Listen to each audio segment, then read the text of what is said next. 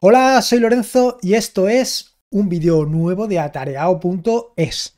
En este caso te traigo otra herramienta, otra fantástica herramienta para el terminal para que le saques la máxima productividad, para que seas lo máximo productivo eh, con el uso del terminal, básicamente, y con el uso de Linux, porque al final eh, el terminal no, nos olvidemos que no es más que una herramienta más con las que pues simplemente aprovechar todo el potencial que te ofrece eh, Linux. El terminal, pues bueno, el terminal es una herramienta más, como te digo, una herramienta más que lo que te facilita es pues la creación de scripts, el desarrollo de, aplicaciones más o menos sencillas, la automatización de determinadas tareas, en fin, todo ese tipo de cosas que habitualmente pues las haces una o dos veces y a partir de ahí generas un script lo suficientemente sencillo de trabajar como para que te puedas olvidar de él. Bueno, dicho esto, me voy al rinconcillo de pensar. Creo, ahora sí, ya estoy en el rinconcillo de pensar y la herramienta de la que te voy a hablar es FD. Y te estarás preguntando, ¿pero qué es eso de FD? Bueno, creo que lo tengo, no lo tengo aquí preparado, pero me lo voy a traer. A ver, era FD Fine.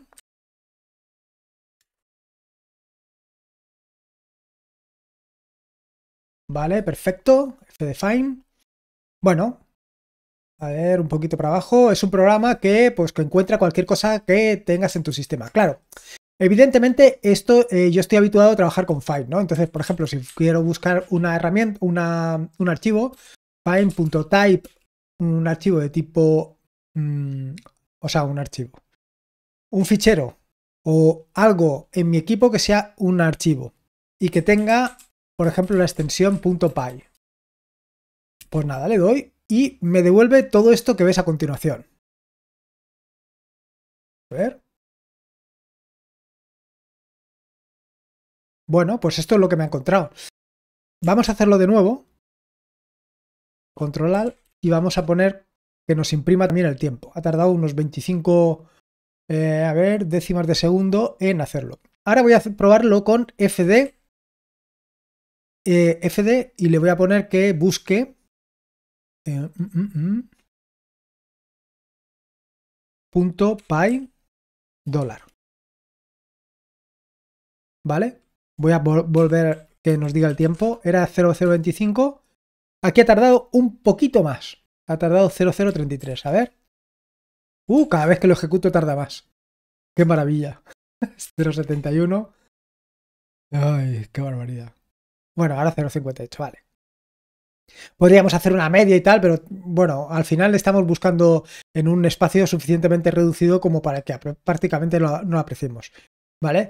Pero ya has podido notar una ligera diferencia. La primera de las diferencias que has podido ver es que eh, en lugar de utilizar em, expresiones del tipo glob, son aquellas que tienen los asteriscos, el asterisco .py, por ejemplo, y este tipo de, opciones, utiliza expresiones regulares. De ahí que haya utilizado esta barra punto esta barra para escapar el punto, porque si no eh, es una expresión regular, y el dólar para indicar que acabe. Porque, claro, si no pongo esto, em, si te das cuenta, estas de aquí también las ha admitido. Porque a pesar de que no acaba en punto .py, pero sí que las tienes aquí, ¿vale? Eh, en el caso de fine, en el caso de fine, que es la 479, bueno, uh, sí, en el caso de fine es esta, efectivamente aquí no lo encuentra. No lo encuentra porque efectivamente no está. Eh, si ponemos Pyth, Pyth sí que lo encuentra, ¿vale? Bueno, y ahora fíjate que es menos, pero ha tardado un poquito más. Bueno, en fin, que lo del tiempo habría, podríamos hacerlo sobre, vamos a, vamos a hacer una prueba. Vamos a hacerlo sobre este, time, y vamos a hacer primero esta, y vamos a fijarnos en el tiempo que tarda. Aquí ya hay bastante, ¿no? Aquí hay bastante recorrido el que tiene que hacer, con lo cual debería de tardar pues sensiblemente más. Ha tardado 9 segundos, ¿vale? Pues ahora que ya sabemos lo que ha tardado este, vamos a ver lo que tarda con este. Y le tenemos que poner esto. 9, recuerda, 9 segundos, 9 segundos, 9,3 segundos. ¿Mm? ¿Qué es lo que he hecho mal?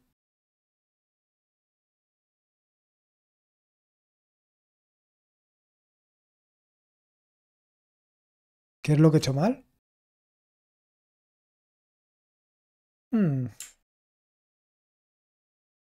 Ahora ha tardado menos, ¿eh? Madre mía, qué lío. Uh. Ahora ha tardado dos segundos. Y este sigue encontrando... Me da la impresión que lo que pasa es que no está mirando en los, en los directorios ocultos. Vamos a ver. Vamos a ver aquí. Mm, mm, mm, en la ayuda, a ver qué nos dice de los directorios ocultos, esta maravilla. efectivamente. Hidden and ignored files. By default, FD no busca en directorios ocultos y no muestra la información de archivos ocultos en los resultados. Pues, en fin, vamos a poner un menos H. Ahora sí, ¿eh? Ahora sí. Ha tardado cuatro segundos y pico. La primera, tres segundos y medio. La primera ejecución que ha hecho el otro ha tardado nueve segundos, ¿recuerdas? Vamos a ver. Ahora ha tardado dos segundos este.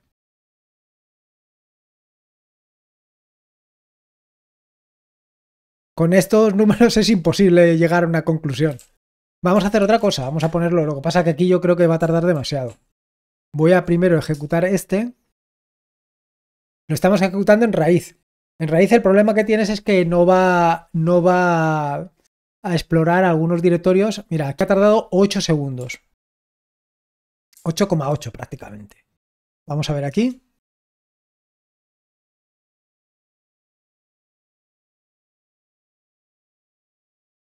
6. Bueno, yo creo que, fíjate, aquí yo creo que hay una estadística que te dice exactamente los tiempos. A ver, yo creo que mm, a mí me suena haberlo visto. A ver si tenemos suerte. Ahora repasaremos las opciones. Ah, sí, aquí están los benchmark. My home folder for files that end in it contains tal, tal, tal, no sé cuántos. Confined ha tardado 7 segundos Ah, vale.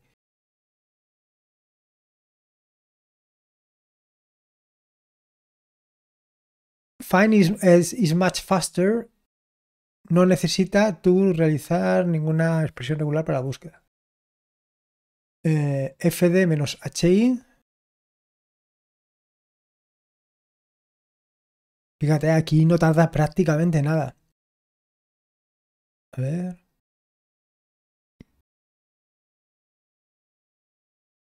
¿Y el i para qué lo utiliza? Ah, menos h, i, vale. fd, vamos a probar esta, esta opción también. Menos h, i.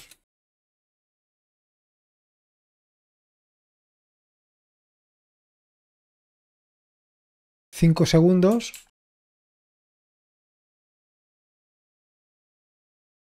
Pero te fíjate, sin embargo, ahí está hablando de milisegundos, ¿eh? Sea, aquí está comparando del orden de milisegundos con respecto al tiempo eh, en segundos. No sé.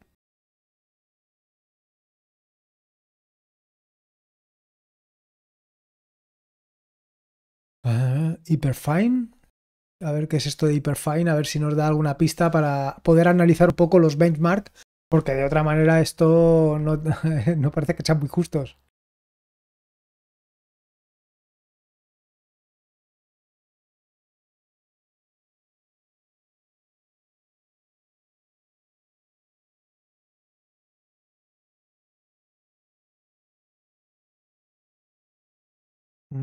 Vale.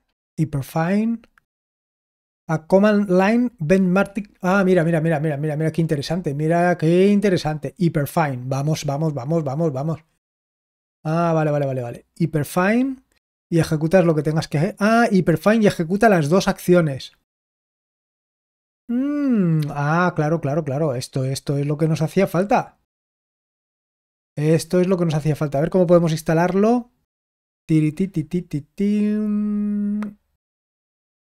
Voy Linux, Scoop. Pues no veo yo. Pues nada, vamos a instalarlo a las bravas.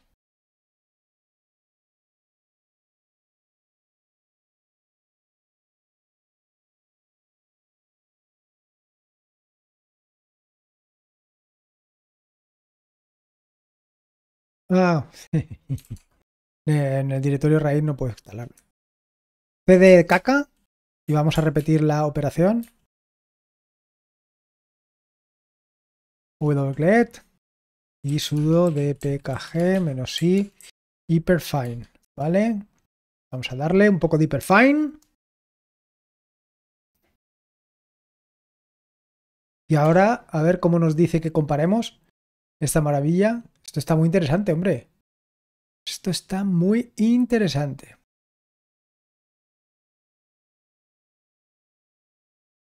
A ver. Hyperfine.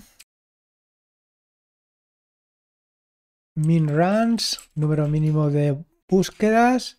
Y ahora tenemos que hacer un find. Hemos dicho find. Estamos en caca.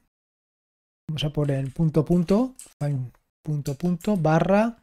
Eh, no, hemos dicho que era que sea de tipo fichero y que el nombre sea eh, asterisco.py.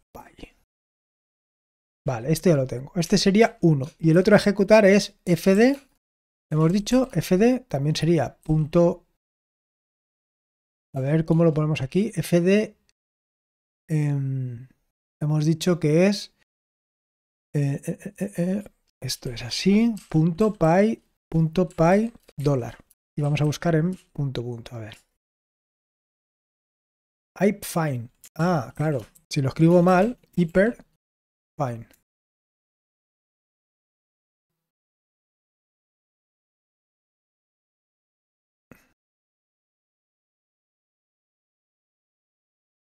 terminado con un, con un 0, find, punto punto, menos type, f menos name. Vale.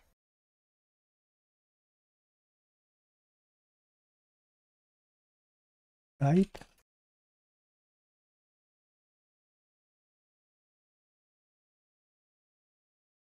Vale, ¿y por qué me pone punto punto menos type f menos name? Está bien.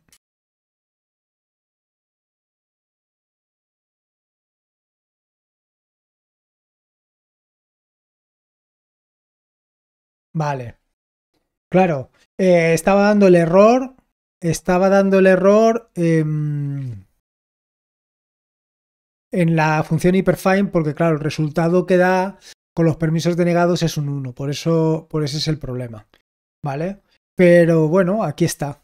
Eh, bueno, ya ves, según esto, eh, estás hablando de una media de 137 frente a 89. Maravillas de la técnica. Vamos a ir a hacerlo en el directorio raíz, a ver qué es lo que sucede. Aquí va a pasar lo mismo, nos va a dar errores. no sé. No sé cómo estará el asunto. La verdad es que esta herramienta de, para hacer benchmarking, pues está muy bien. No la conocía yo. Hyperfine.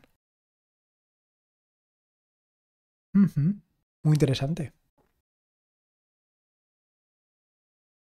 Ahora sí que tarda un poquito más, porque evidentemente tiene que trabajarse un poquito más las cosas, pero bueno, son pequeños detalles que nos va a venir perfecto para sacar una pequeña conclusión.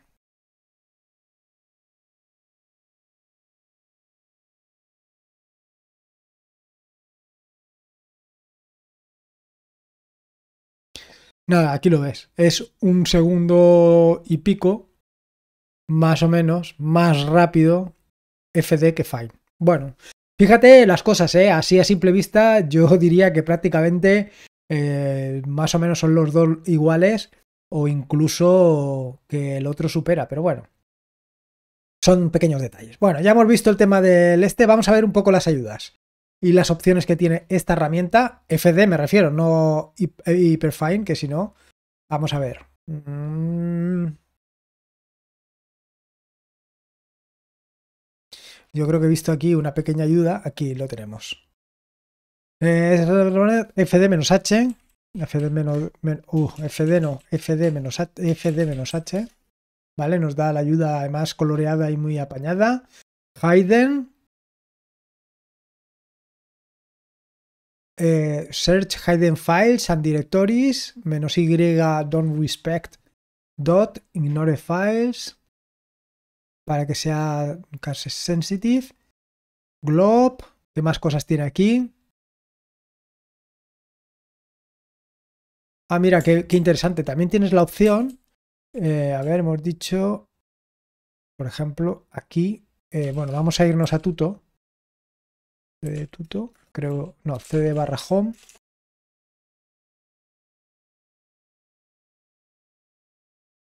Vale. Fd-h. Y yo te he dicho, tiene la opción de list all, que hemos dicho que era fd, fd, menos L, a ver. Vale. Es que uno de los problemas, por ejemplo, que tiene Find es que no te muestra toda la información tal y como te la muestra. Eh, bueno, este, con el F de "-l lo tendrías ahí todo perfectamente detallado. Eh, follow, symbolic file, links, full path, a ver, menos P. ¿vale? Te pone la, esta completa, la ruta completa. Si no lo pones nada, ah, pues también te la pone. Pues vaya invento que ha hecho aquí. Con menos V, eh, para mostrar la, la versión. Yo lo he instalado directamente desde los repositorios oficiales de Ubuntu. Lo que pasa es que desde los eh, repositorios oficiales de Ubuntu tiene un pequeño problemilla y es que eh, la función que baja es fdfind. Entonces, aquí te dice una sencilla instrucción que estará aquí, control R history. history bueno, history no. Eh, ln-s. ln-s está aquí.